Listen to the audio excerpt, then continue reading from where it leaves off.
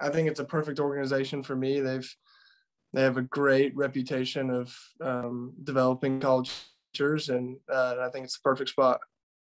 I was say I was a little surprised in the beginning, and then kind of as things started to to fall out, I not fall out, but go according to plan. I we had I had a good idea towards the end.